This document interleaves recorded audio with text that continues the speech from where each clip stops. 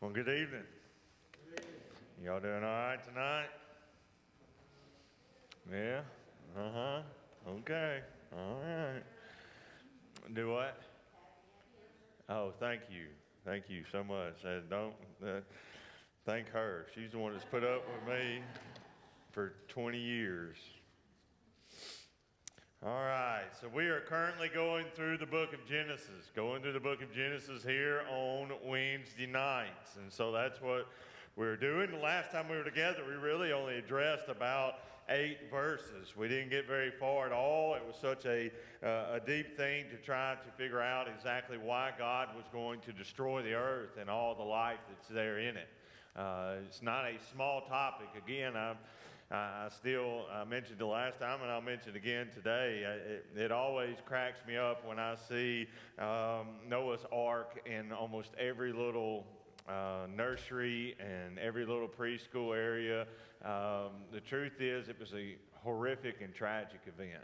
Um, and so, I, I, like I said last time, I sort of expect on the next wall over to be the stoning of Stephen and everybody else. I mean, it, it's just, it, but we, we picture it different in our minds, but we have to understand that this truly was a terrible, terrible event. And countless lives. We'll never know how many lives were lost inside this event. And so, getting an understanding, a good grip on it is why we took so much time. And so, we're going to move quickly now um, as we jump into the flood. Probably this week and next week thereafter, we're probably going to take a couple chapters at a time because it's just dealing with that flood itself. And so, what I'm going to do is I'm going to pick up where we left off last time there in verse 9 of Genesis chapter 6. Verse 9. And like last time, I'll read a little bit and we'll talk about it, and I'll read a little bit more and talk about that. So, Genesis chapter 6, verse 9. And these are the records of the generations of Noah. Noah was a righteous man, blameless in his time. Noah walked with God. And Noah became the father of three sons Shem, Ham, and Japheth. Now the earth was corrupt in the sight of God, and the earth was filled with violence.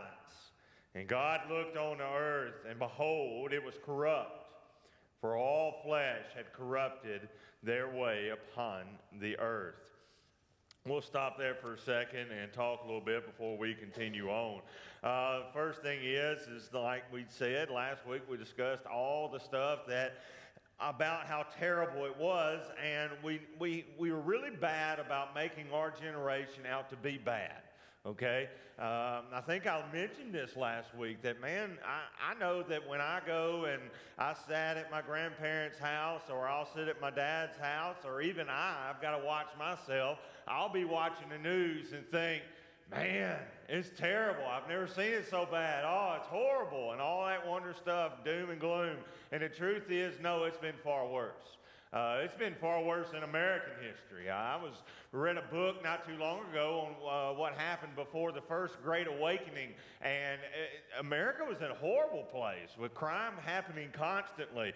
Uh, the difference now is we just have news being thrown at us constantly with all the horrible stuff uh, and not aware of how bad it's always been. But at this point, the earth could not be any worse.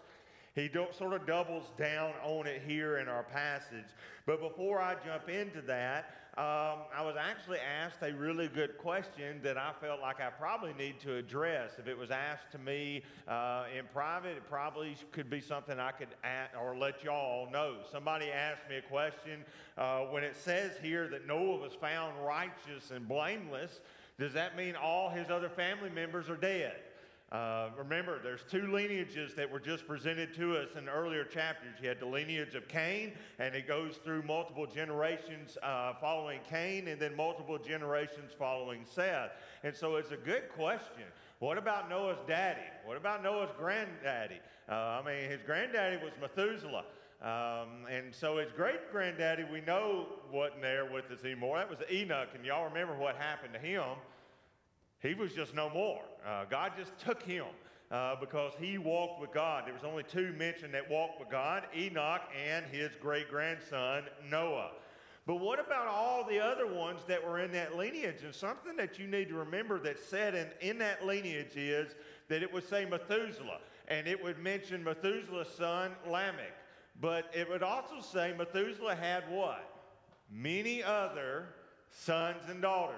The, the generations only mention one, the most knowable person of that generation. Not all of them will get listed out. And so there were many, again, Methuselah lived 900 something years. He had a lot of kids. Uh, it wasn't just Lamech, he had a lot. But only one got mentioned. And the same goes with Lamech, Noah's father. He too had many sons and many daughters. So that means Noah would have had many siblings. Many of them. We don't even have a clue how many he had, but he definitely had siblings. And were they alive at the time of the flood? The odds are, yeah. The only one that we know that probably was not alive at the time was his grandfather, Methuselah. And the reason why we don't know, we believe that he wasn't alive at the time of the flood is because what his name actually means. Methuselah means when he is dead, it shall be sent. When he's dead, it shall be sent. And so most people believe that that's talking about the flood. That when Methuselah dies, here comes the flood. So most people believe that Methuselah either died the year of the flood or the day before the flood or whatever. But he died before the flood. As far as we know about his father Lamech or all his siblings, they were alive. And so, what does that tell us? Noah was the best of them. That's it. Here's the thing I, have got a lot of family members, and some of my family members I believe are far greater in faith than I am. And some of my family members, I don't know if they believe at all. And I know some of you have family members the same way. And the truth is, when God looked over the earth, he found one that was blameless. Among all Noah's brothers and all of Noah's sisters, all of Noah's first, second, third, fourth, fifth cousins, of everybody, he found one man that truly sought after him. One man that desired to do what God wanted him to do. And that may very well have included his father, Lamech. It was just that Lamech was the most prominent of the sons of Methuselah, in particular because he had a really famous son named Noah. And so that is why they are mentioned. But the truth is, he would have had many people of his own family that would have died there in the flood. He just happened to be the most faithful. That's what the scripture tells us in verse 9. He was a righteous man. He was blameless. What? At this time. All right, well, let me ask this question. Did y'all see that phrase, at this time? All right, what is this time? How is the world doing at this time? Anybody want to ask that? Anybody know the answer to that question? It ain't good. Uh, it actually said that every thought and intention of the people's heart were what? Evil. Okay? Now, that doesn't mean that Noah really wasn't that good of a guy. No, I believe he really was. If it says he walked with God, that's a big thing. That's a big indicator. But the truth is, his generation was terrible. Okay? Uh, it really was a terrible generation, but he was the most faithful man at that time. Not of all time, but at that time, Noah walked with God. It goes on to tell us that he has three sons Shem, Ham, and Japheth. Shem, Ham, and Japheth. We're going to talk more about the sons of Noah as we continue on through the story of Noah. If, if, anybody, and I'm sure most of you have studied through Genesis at some point or at least read through Genesis, it usually focuses in on one person at a time. We're going to go through the story and the life of Noah, and when we get to the end of Noah, we're going to talk a lot more about his sons and what his sons do and all that good stuff. So I'm not going to dive into who Shem, Ham, and Japheth are. We'll do that a little bit later as we go on. But what I will point out to you is this. Noah lived 600 years, we know. By the time the flood hits, he is 600 years old. How many kids did Noah have? Three. Now, every other person in that lineage that we just read a couple chapters ago, the lineage of Seth, it would say Methuselah had Lamech, and at this day and age of his life, and then he would have many other sons and daughters. And then Lamech would be so old when he had Noah, and he would have many other sons and daughters. When it comes to Noah, it says he had Shem, Ham, and Japheth. That's it. 600 years. You also need to realize that in this culture and time, what was considered wealth at that time? To have a large family. Today, there's still, even though our culture is shifting a lot, we still see children as what? A blessing. Now, God, Noah walked with God. Noah was a faithful man. He was the most righteous man of his generation. But would his neighbors have considered him blessed by just looking at his offspring? Probably not. Because the dude lived 600 years, and all he had was three kids in 600 years. The reason I'm making that point is this do not believe what you will hear on TVs uh, through preachers or evangelists on that or anybody else that will tell you that God always blesses you the way the world sees blessings. The way the world sees blessings, no doubt at this time, is the more kids you have, the more blessed you were. But the truth is, Noah was a very righteous man. Noah walked with God, but how many did he end up having? Just three in 600 years. Don't allow the world to tell you what blessings really are. Don't allow the world to tell you that you must not be walking too closely with God if you're not having X, Y, and Z in your life. Don't listen to that. You focus on Christ, you focus on growing yourself and understand that Noah probably recognized something that Jesus taught us a long time ago or mentioned a long time ago that we still try to teach people today. Where's your treasure supposed to be? Heaven, where the rest and the moth do not gather. It's not always here on this earth. So if you're ever sitting around and you're listening to a preacher that tells you that God can't wait to give you a million dollars in the bank, you need to turn that preacher off because uh, he's missed the point. And uh, there's a lot of people in this world that have absolutely missed the point. And let me tell you something else. It goes the same way when it comes to health and everything else. It, it, that, it's called health, wealth, and prosperity gospel. The truth is, there are many people, and, I, and, and I've mentioned this before. You go to the great heroes of faith, and Noah is in Hebrews 11. The mentioning of the great heroes of faith, Noah is one of them. And the truth is, many of those people, the great heroes of faith, died. They had their heads cut off. And if you listen to some of these prosperity gospels, they'll tell you that, well, they must have not had enough faith. God didn't save them. Well, he did save some of them. He got Daniel out of the lion's den, but not all of them got taken out of that lion's den. Some of them got eaten or eaten. I guess that's the proper way of saying that. So don't allow the world to tell you what blessings are. Noah had three kids, but yet he walked with God, and he truly was a righteous man, blameless. Something else that we'll see in this passage before we move on is where he starts describing the earth again. He did it earlier in chapter 6, and he sort of re-hits it again there in verses 11 and 12. And one thing you need to note is every time the Bible repeats a word, it's important. And if you look at verse 11 and verse 12, there's one word that's repeated three times in just two verses. And that word is corrupt. The earth was corrupt. Mankind was corrupt.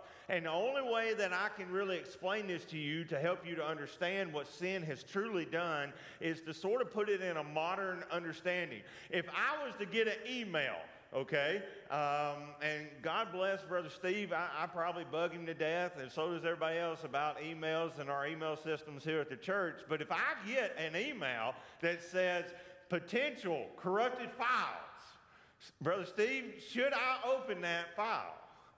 No, because what's going to happen? It's a bad thing.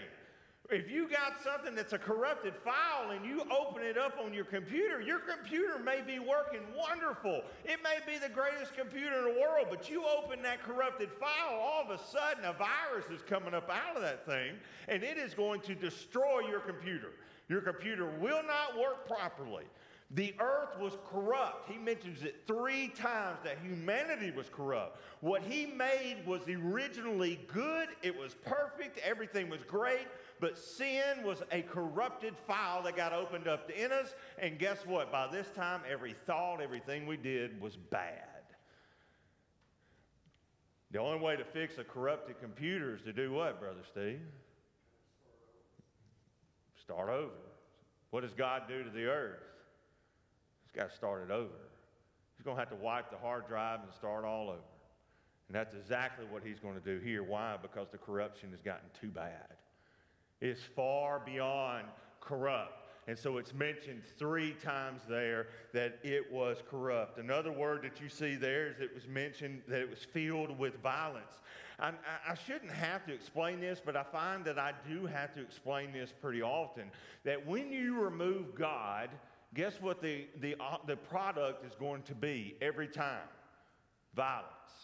When God gets removed, violence is going to happen. Now, that is argued a lot when it comes into our culture. They'll say, even with God, there's violence. And you know what? They're absolutely correct.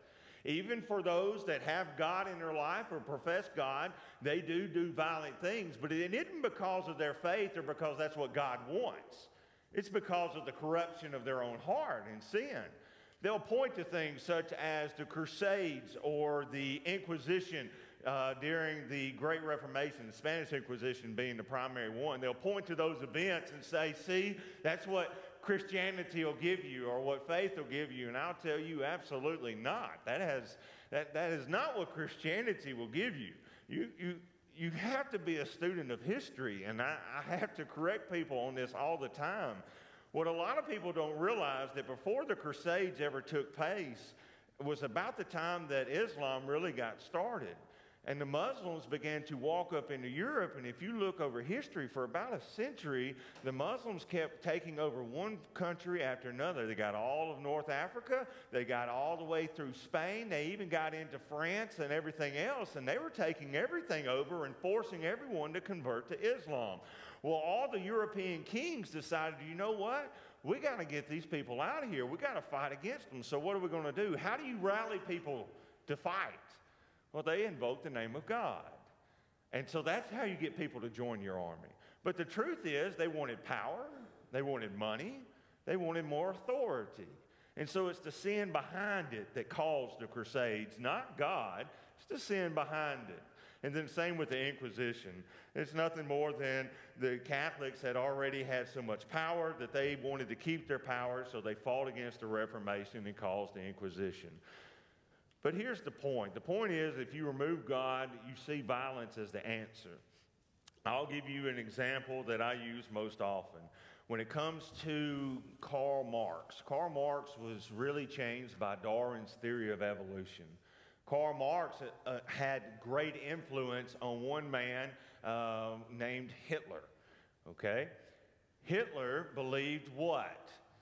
That the primary, most powerful race was a white person with blonde hair and blue eyes. Okay, where did he get that? from Karl Marx, and Karl Marx got it from Darwin because of evolution, that you slowly but surely could uh, be one certain species could be greater than another species or a part of the species. And so that led to Hitler doing what he did. And then you can go into other atrocities, such as Russia with Stalin, China with Mao, or even the Cambodia killing fields, Pol Pot. Every one of them uh, completely tried to destroy religion as it was in their countries, and for the most part, were pretty successful at doing it. And so you begin to remove God, violence is just a part of it. And as our country becomes further and further away from God, with any chances of there being a judgment or even mentioning of judgment, you see more and more murder. And does anybody have a clue what the number one uh, killing thing is in the United States? The number one thing killing human beings today in the United States. There it is. It isn't alcohol. It isn't driving. It isn't plane crashes. It isn't any of that stuff. Abortion's the number one killer today.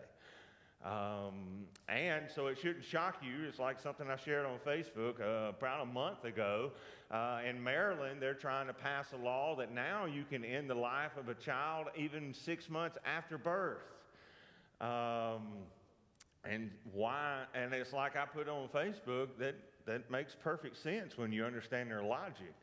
I mean, if you can deny the human life inside the womb, why do you have to, why can you not deny it outside the womb? I mean, that's just the point. But when you begin to lose the absence of God, It doesn't really matter. Violence is just a part of the society, and violence is what you find here in this society. It was utterly corrupt and filled with violence toward one another. Moving on, we're going to pick up in verse 13, and we're going to go to the end, verse 22 of chapter 6. Then God said to Noah, The end of all flesh has come before me, for the earth is filled with violence because of them, and behold, I am about to destroy them with the earth. Make for yourself an ark of gopher wood, you shall make the ark with rooms, and shall cover it inside and out with pitch. This is how you should make it. The length of the ark, 300 cubits, and the breadth, 50 cubits, and the height, 30 cubits. And you shall make the window for the ark and finish it to the cubit from the top, and set the door on the ark and the side of it. And you shall make it with a lower, a second, and third decks. Behold, I, even I, am bringing a flood uh, of water upon the earth to destroy all flesh, in which is the breath of life from under heaven. Everything that is on the earth shall perish. But I will establish my covenant with you, and you shall enter the ark, and you and your sons, and your wife, and your sons' wives with you. And of every living thing of all flesh you shall bring two of every kind into the ark, and keep them alive with you. And they shall be male and female. Of the birds after their kind, and of the animals after their kind, and of the creeping thing of the ground after its kind, two of every kind will come to you to keep them alive. As for you, Take for yourself some of all the food which is edible, and gather it to yourself, and it shall be food for you and for them. Thus Noah did according to all that God had commanded him, so he did. All right. First off, looking here, God gives Noah instructions. And he gives him instructions on how to build the ark, and it's pretty specific on how to do it. And one of the things that I like about this is you're beginning to see something that we already know in the New Testament, especially if you've read through the Old Testament. Our God is not a God of chaos, all right? He's not willy nilly. He doesn't say, Oh, I need you to build a boat, and man, just build it however you want. That's not how God works. God is a God of order, He's a God of structure. He does it in a certain way, and He expects us to do it the way He tells us to do it. Even whether we understand it or not, it doesn't matter. Do it the way He says. Uh, for example, you'll see when it comes to the tabernacle, uh, Brother Stedman did a great study a few uh, months ago on the tabernacle, and it is in order. It was structured. It had to be done a certain way, made of specific materials, because every bit of it was going to point to something. Uh, the tabernacle was that way. The church is that way. It is structured. Well, in my D group, we're going through uh, 1 Corinthians. And in 1 Corinthians, he's having to get on to the Corinthian church because it's a madhouse. You got people speaking out of turn, people speaking in tongues whenever they felt like it, prophesying whenever they felt like it. And he said, Y'all got to stop. You, are going to have to do this in order. You're going to speak one at a time, and you're only going to do two of you speaking in tongues, and only this way, and he got to have it in order. First Timothy, we went through it here on Sunday mornings, and what does he teach us in First Timothy? That the church is to be what? Structured and in order. There's only certain positions, and of those positions, this is the qualification for this position, the qualifications for that position. Uh, if you're, you got to have widows, how are you going to take care of the widow? Who is the widow indeed? Uh, not everybody fits the category. He puts structure to the church on how all of it operates because we serve a God of order, and that's what he is getting to here. He is telling Noah, man, it's got to be built to this specific way, and you've got to do that. I mentioned it just this past Sunday on Sunday morning, uh, a, a case in point that we need to take it serious when God tells us to do something and to do it the way He tells us to do it, not the way that we want to do it. Because our natural inkling is to do what? Do it our way. You know, we, we get really laxed sometimes about doing things that God has told us to do, and we just sort of do it our way. And we, we twist it our way, and we cannot do that. We got to do it His way. And the story that I gave you is when David wanted to build the temple in Jerusalem, and he was going to bring the Ark of the Covenant back to Jerusalem. And what he does in that story is he takes the ark and he puts it on a cart, and that cart's pulled by an ox, and everybody's having a party. Everybody's excited because the Ark of the Covenant's coming back. The ox hit a bump in the road. The Ark of the Covenant shifted and was about to fall off the cart when a man caught the ark to try to keep it from falling off. That sounds like a good thing, right? The only problem is God killed the man on the spot. And why did he kill him? Because number one, he shouldn't have touched the ark. You're not supposed to.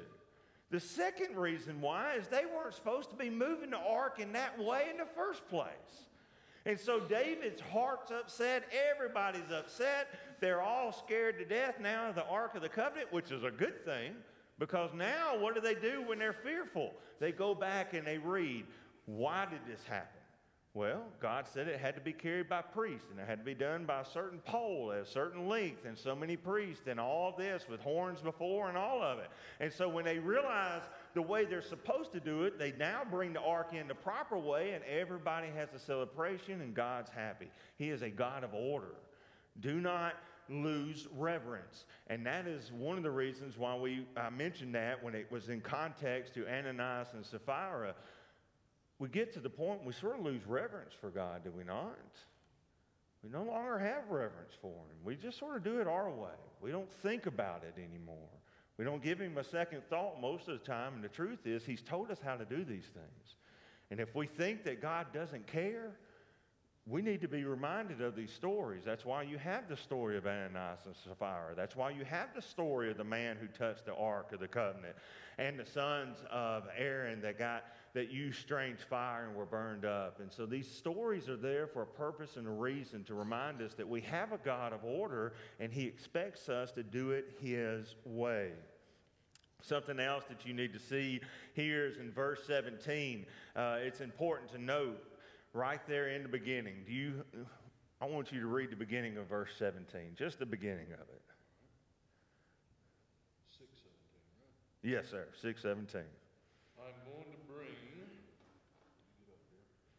I'm going to bring floodwaters on the earth to destroy all the, to destroy all life under the heavens, every creature that has the breath of life. Everything on earth will perish. But I will establish my covenant with you, and you will enter the ark, you and your sons and your wife, and your sons' wives with you. That's good. That's good. All right. What it is, is who is bringing the flood? Like my translation says, Behold, I, even I, am bringing the flood. Who's bringing the flood? God is. One of the things that amazed me, and, it, and it, it, it's really growing in our culture, and in fact, even when I was in Bible college, one of the guys that I was in Bible college with was sort of getting caught up into it. We, we live in a culture and day and age where God is a God of love, and He is a God of love, but as we further move into that, and again, it's like a pendulum that swings, they begin to remove all wrath and all judgment from God. In fact, there are many churches that will never mention God's wrath. They will not mention God's judgment at all. And they rarely mention sin, much less repentance. Uh, and they just don't talk about it anymore. And it happened even when I was in Bible college, it got mentioned to where the, the old guy was starting to twist every story saying that it really wasn't God that did it. it. You know, when David went and killed so many people, that was just David acting in his flesh. It wasn't God doing all that and stuff. And so I had to debate him many times. And when I would debate him, I would remind him that God did, in fact, kill several people. Uh, you can go through the Old Testament. It, I mean, he would open up the ground pretty often and swallow people up. Um, he, he would burn them. He, he, he, did a lot of stuff. I mean, they, when they messed up, God would punish them. But the one that I really always would get him on was this, because he would try to twist all of them. This is one of them, Noah's flood. Uh, but the second one that I would get him the best on was the plagues of Egypt. Do y'all remember what the last plague of Egypt was? Anybody? The firstborns would die. And that event was to be remembered, and we call it what? Passover. Because the death angel would pass over the Israelites who would put the blood of the lamb on the doorpost, the mantle, okay? And it was that covenant meal that Jesus Christ took and changed the covenant for us. And said, eh, During this covenant meal, I'm making a new covenant with you. That's something that we participated in on Sunday morning when we partook of the Lord's Supper. That's the Passover meal. And so you can't tell me that God never once killed anybody because the very Passover meal that Jesus Christ established his covenant with us, it was in remembrance of him destroying the firstborn of all of Egypt because of the sins that they had committed against him and to his people. And the reason why I'm bringing up that is simply this do not get caught up in our culture today that teaches that God doesn't have wrath, that God doesn't do that, He doesn't put judgment on them. That's a lie that goes all the way back to Genesis. It goes all the way back to Genesis chapter 3 that we've already discussed. When Eve said, when Satan said to eat of the fruit, and Eve says, No, we can't do it, we can't even touch it, or we'll surely die, what does Satan then respond? You shall not surely die. He takes away the judgment. And we live in a world today that there are many professing Christians, and definitely in our world that non professing Christians will tell you that God does not judge. There is no hell, none of it. And the truth, there is. Um, that's why Christ had to die to begin with. I tell everyone the reason why I know God loves me and the reason why I know He's a God of love and a God of grace is because of what He did to Christ on that, crown, on that cross. It's on the cross of Calvary that you see the wrath of God, but you also see the love and the grace of God. The wages of sin is death, but God loved us so much, He took that wages upon Himself. And so you see God's love and God's grace, but you also see His wrath and His judgment. And so here in verse 17, behold, I, even I, am bringing the flood. We see God's wrath and His judgment going against sin. Something else I want you to see here is, y'all, this ark was huge. All right? I don't know if you know what a cubit is, but it's okay because I had to look it up too. It was huge. And I don't have to really explain to you how big it is because all you got to do is get on your phone and Google ark. And it will probably take you to the ark that's built right here in the United States.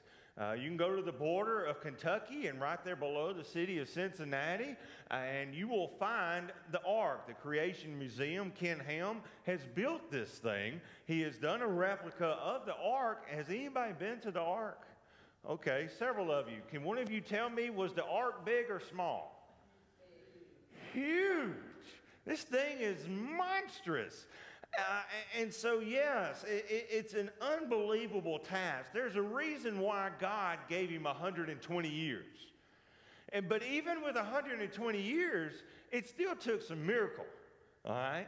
because they didn't have cranes, they didn't have all the kind of stuff and tools that we had. And so this was an unbelievable ship according to the measurements that are giving here. It's just mind blowing how big it is. But people will still argue, well, it wasn't big enough to hold all the life in the world. Okay, well, it is. And again, I, I, don't have to go into too great a detail because Ken Ham and the Creation Museum, they've done a great job of explaining it. But one thing I will point out to you is what it says right here in this passage because we're going through it right now. You see the introduction of the word kind again. We talked about this back in Genesis chapter 1. When God would create an animal, he did it by its kind. And so, what I'm saying is this if you think, like some people, the, those that scoff and mock the idea of the ark, uh, of the, the ark itself and all the animals getting on it, they'll tell you there's no way that all these animals can get on that ark. And I tell you, it is possible when you put them in their kinds. And what, uh, an example is this anybody have a chihuahua? Do you really? God. I was going to talk bad about chihuahuas, but I'm not going to since you're here. But they, they, there's all kinds of dogs. You got chihuahuas, I call ankle biters, because I've only been bit by two dogs in my life, and one of the worst one was a chihuahua. All right, ate me up, and the other one was a Rottweiler, but that's another story. And so, uh, but anyway, dogs come from chihuahuas to Rottweilers, to Bull Mastiffs, to St. Bernards, to German shepherds, or like what I have, an Australian shepherd, or like my daughter has, a Shih Tzu, okay? Which is nothing but a hair of flesh that sits around and does nothing but barks and eats and poops. All right? No functionality whatsoever, other than I guess it makes her feel good. All right? But you've got all the, and so, yeah, if you think that all these breeds got on that ark, then you're right, there ain't enough room. But that's not what Scripture says. Scripture says one of each kind. So a male and female canine got put on that ark, a dog. Now, all these little breeds came afterwards. In fact, y'all do realize that all dogs come from basically wolves, right? Or a form of a wolf. Mankind has just selectively bred them down into whatever they can. I mean, they got some now that are like this. I don't even know why you need a dog that small. I guess I, I do know why. Puppies are the cutest things there ever was, and so they just made a dog that stays a permanent puppy. And so that, that's what he's talking about kinds. And so when it comes to horses, yeah, you, you've got multiple different types of horses, but it's a male and female horse. The, don't get lost in all these breeds. And so when you really start to condense all the animal kingdom down to one, now it's starting to make sense. Now you're starting to understand that, yes, they were capable of getting all on that ark Let's see here. Two, yeah, I'll get to that in just a second. All right. Something else that I want you to see here uh, is there at the end, it says, Thus Noah did according to all that God had commanded him, so he did. And so it's a double emphatic, so he did it. Just as it said earlier, I, even I, am bringing a flood. It's a double emphatic on how Noah did exactly what God told him to do. Have you ever really thought about what God told him to do? 120 years. Man, most of us get upset when God asks us to teach a Sunday school class for a year. 120 years he spent building that boat. And was that easy work? Has anybody ever built a boat? Y'all, I can't even hardly build anything.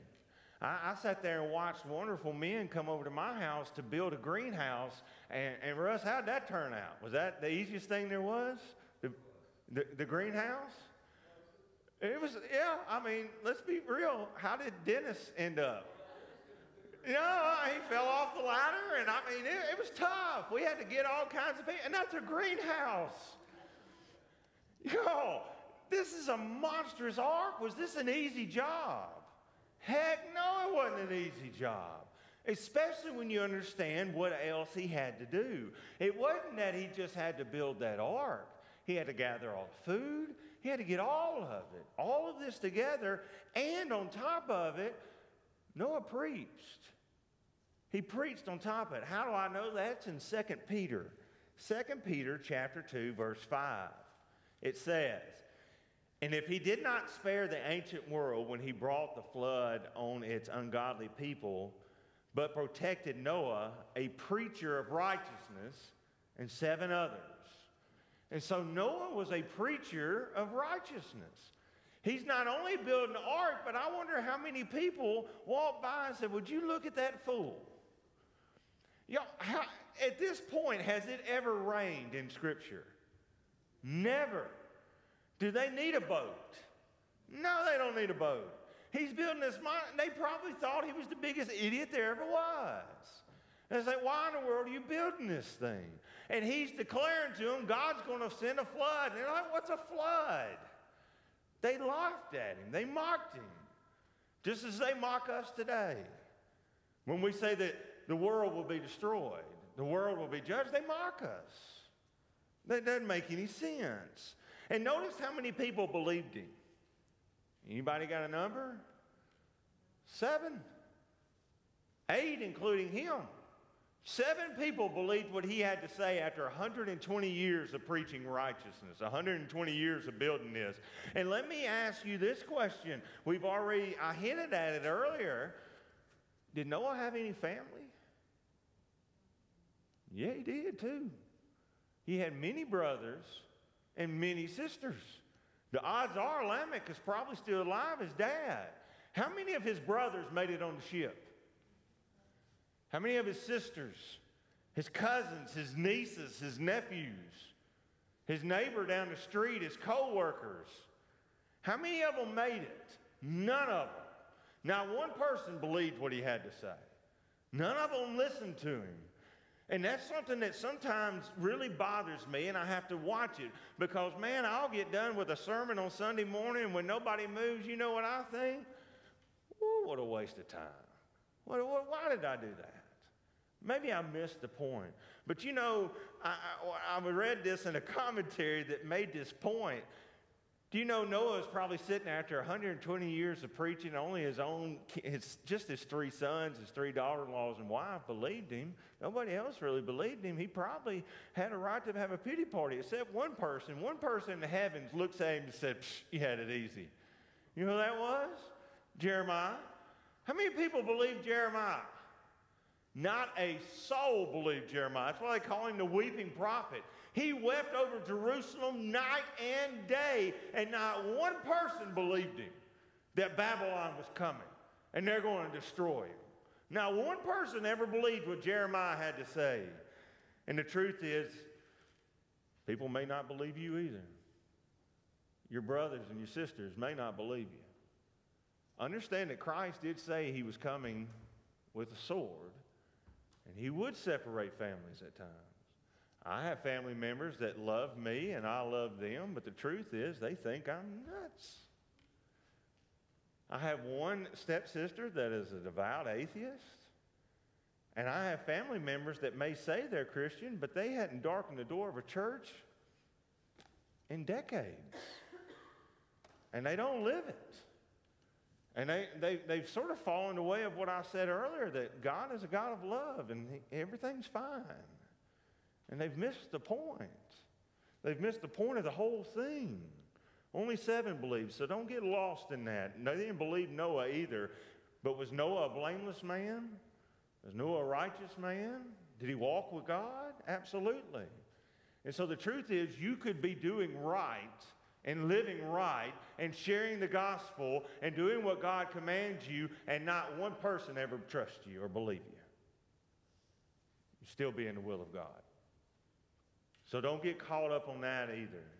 Something else, it tells us what it really means to walk with God. What it really means to walk with God. You see that there again at the end of that passage, the double emphatics. He did according to all that God commanded him, so he did. Something I want you to, I mentioned it earlier in Hebrews chapter 11, the great hall of faith. this is what it says about Noah. Hebrews 11, 7.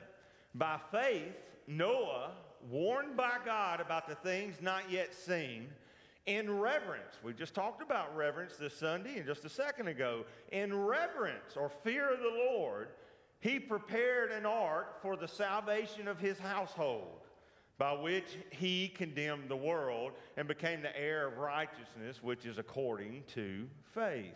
That's what it says about Noah in the great hall of fame of faith there in Hebrews 11 or the great cloud of witnesses. The point I'm making is this He believed God, but what else did he do? Y'all, he worked. He did something. It's one thing to be sitting there and say, All right, yeah, God, I got you. Flood's coming.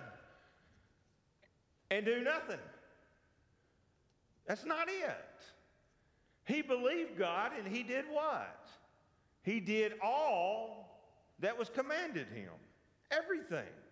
That's what it means to walk with God. You want to know why God took Enoch early and what it meant that he walked with God? Because he kept his commandments. He did what he told him to do. He sought after him. He, he had that changed life and actually did it. And the truth is, that's what we're supposed to do. He built an ark for the salvation of his household because he wanted them to be saved. What are you doing for the salvation of your household? You may very well believe in God, but what are you doing? Anything? So many of us get guilty and we get comfortable. We come and we think coming to church and sitting on that nice little padded pew and singing a song every now and then is all God wants you to do. That is not true. That is not in the Bible anywhere. In the Bible, we are called to work. We are called to serve one another, love one another, pray for one another, to be actively using our talents and our gifts for the growth of the body, for the spreading of God's kingdom. That's what we're supposed to do. The New Testament puts it this way that faith without works is what? It is useless. Useless. Had Noah had faith that God was going to send a flood and didn't build the ark, how good would that have been? It wouldn't have helped a bit. And there's a lot of people that know and believe in God or claim they believe in God, but they do nothing. Y'all, the demons of hell believe. But what do they do any good works for the spreading of the kingdom of God? Absolutely not. They don't keep his commandments. What you want to know, people who actually walk with God are those that actually keep his commandments. What did Jesus say? If you love me, you'll do what? That's what he said. Noah loved God. And so he did everything he told him to do. He didn't look at God and say, Are you crazy? Do you know how long it's going to take me to get enough wood to build this thing? That's not what he said. He just did it. He did it by faith. And we're commanded to do the same thing. Jesus says that I am the vine and you are the branches, and that we would bear fruit. And in so bearing fruit, we would prove to be what? His disciples. It's, Jesus said, You'll know them by their what? Fruits. If we have faith, that faith needs to be shown through action. It has to, because without it, it's dead. I could sit at home all day long and say, I got faith in Christ, but if I don't ever do anything, just sit there. Did that life, did that faith change me at all? No. Because if we follow him, that's what he says. If you want to follow after me, take up your cross and follow me. You got to deny yourself. That's what he told his disciples. It is action. And what something you see Noah do time and time again is he does exactly what he was told. And the truth is, we have all been given commandments. One of them is to go and make disciples of all nations, teaching them all that I what? Commanded. The commandments are there. It's in the Great Commission, something that was given to all of us. And so Noah walked with God and he did what he was supposed to do, what he was told to do. And the truth is, we need to be doing what we're supposed to do as well. Something else that I, I, I, noted down here in this passage is this it says that Noah was different in his generation. He was different in his generation among all his family and all of that. And I, I, I want to ask you the question Are you different in your family? Could you be singled out? As someone that is blameless, that is trying to walk with God? Or are you just going along with the flow of everybody else? Scripture says we're to be light and we're to be salt. Light in a dark world, salt in a dying world. We're to be different. Noah was different. Dare to be different. Don't do what this world tries to get us to do. Just sort of go in the flow. Don't do that. Go against the flow. Be different. Be light and be salt. Moving on, we're going to jump real quick into Genesis chapter 7. Uh, to save time, I'm not really, well, yeah, I need to read some of it to you. All right. Genesis chapter 7. Then the Lord said to Noah, Enter the ark, you and all your household, for you alone I have seen to be righteous before me in this time. And you shall take with you every clean animal by sevens, a male and female, and of animals that are not clean, two, uh, a male and a female. And also the birds of the sky by seven, male and female, and keep the offspring alive on the face of all the earth. For after seven more days I will send rain on the earth, 40 days and 40 nights and I will blot out from the face of the land every living thing that I have made. And Noah did according to all that the Lord had commanded him. Again, ends in verse 5. What does Noah do? Everything God tells him. He doesn't stop. He does it. He doesn't question. He is just faithful to do it. That is why he gets singled out because he's willing to do it. Something I want to mention here it's seven clean animals. A lot of people get confused, and, uh, and it's easy to get confused because if you read in Genesis chapter 6, there at the end, it's by twos they come on. But it doesn't mean that all the animals were by two. It's the unclean animals that were only male and female by two. The clean animals, there were seven of them. All right. Y'all, I, am not a math scholar, but I know one thing.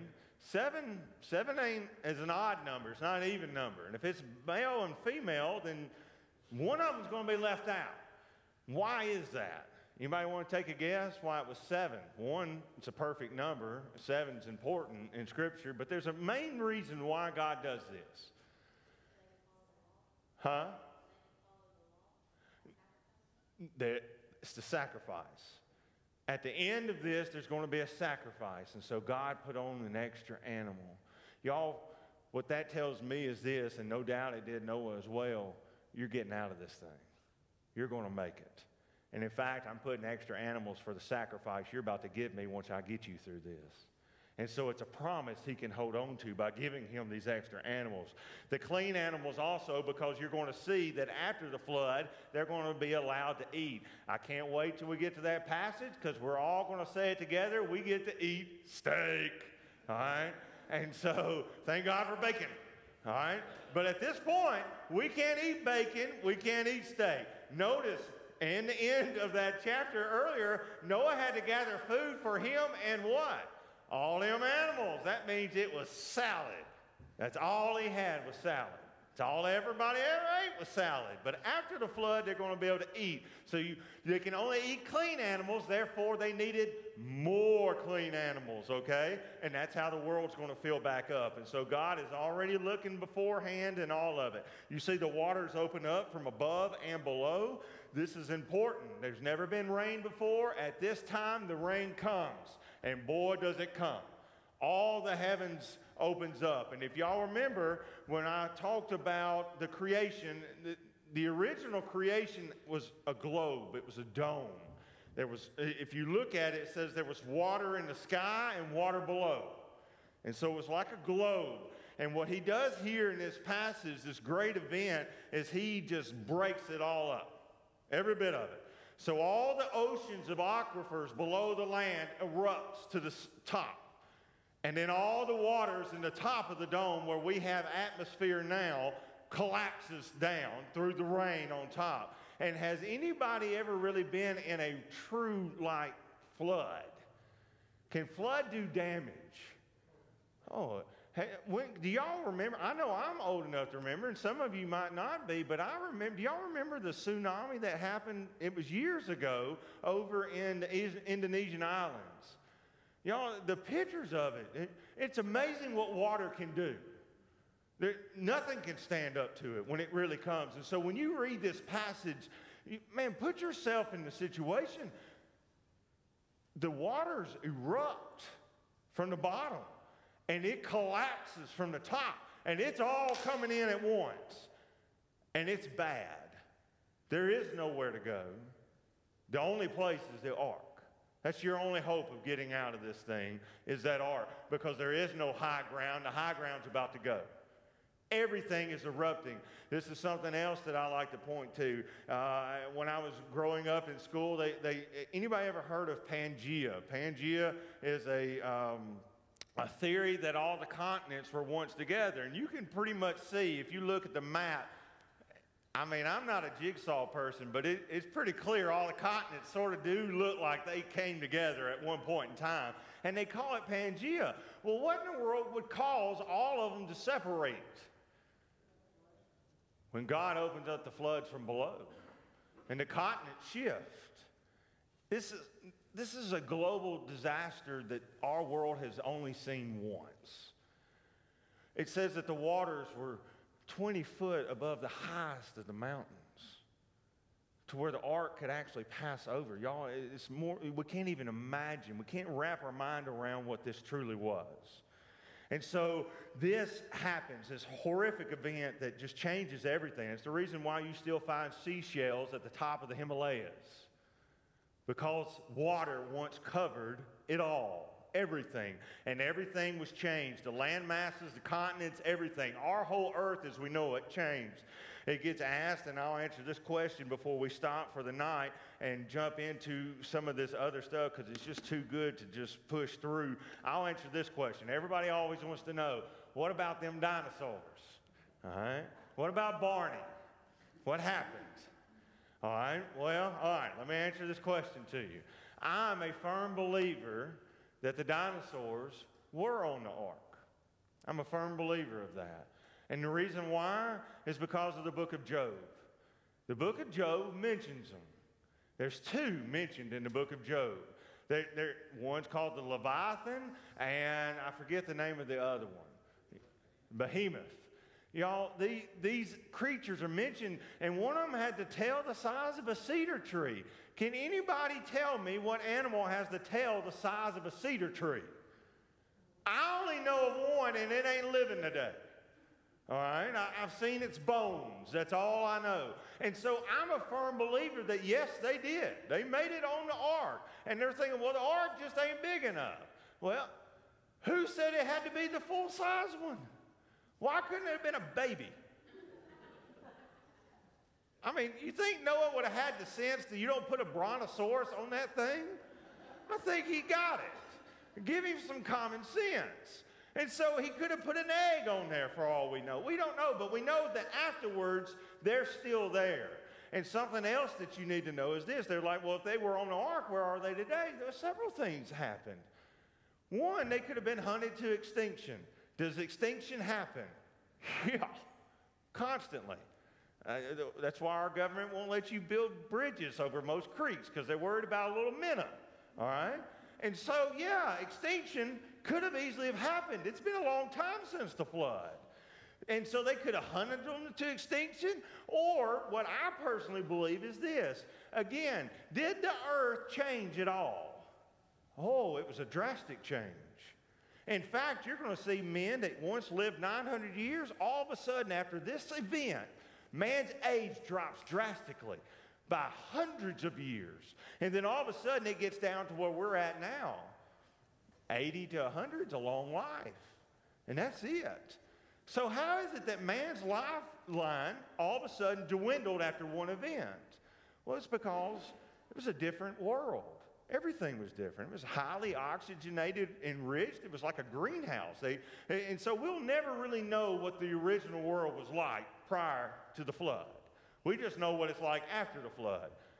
And so these animals that reached to these monstrous heights probably may not could have reached to such heights or survived in this new world. We don't know. They could have evolved into something else. At least that's what our science books tells us today, that they did evolve into something else. And so I, am I'm, I'm with you. Again, I, I'm a firm believer in microevolution. Firm believer. You know why I'm a believer in microevolution? Because I see it every day. As we just talked about. You had a wolf and that wolf now today is a Chihuahua and a Bull Mastiff. And don't neither one of them look like that wolf. But all that has only happened in the last few hundred years. But it's still that one kind. There is a microevolution to where kinds can change and evolve. You can have multiple different species of horse, but at the end of the day, it is a horse it's an Appaloosa or a Clydesdale. At the end of the day, it's still a horse. And it could be a Chihuahua, it could be a Bull Mastiff or a Great Dane, but at the end of the day, it's still a canine. It's a dog. It's of its kind. There could be changes in kinds, but what you don't ever see in the fossils or in history is a dog becoming a cow. It don't happen. You don't see it branching over of the kinds. You see what I'm talking about? And so that's called evolution, the branching over of kinds. Microevolution is the differentiating of species, which we see every day. I've got three of them living in my house a cat and two dogs. Because that ain't the original cat, I can promise you. It wouldn't be living in my house, even though it's mean. nor are those the original dogs. And so, with that, I'm going to end because we've run out of time. I'll get to the last couple points as we jump into the, and continue the flood. Is there any questions up to this point about this event, the flood? Any questions? Y'all got it all test tomorrow. Y'all, re- y'all ready? All right, let's pray. Father, I thank you so much for giving us an opportunity to come and to continue to read and to study your word together. Father, I just ask that you help us to, to take this knowledge and use it for what you desire for it to do, which is to grow our faith. That we, like Noah, will be faithful to do what you have commanded us to do. Father, we live in a world that we know the judgment's coming. Will you help us to be faithful? Will you help us to not get lost in the things of this world? But you too would find us and you would say that at least we seek your face, that we would be considered worthy enough. Father, help us. Help us to be faithful to the commands you've given us, to be the very light and the salt that you desire for us to be for our own families.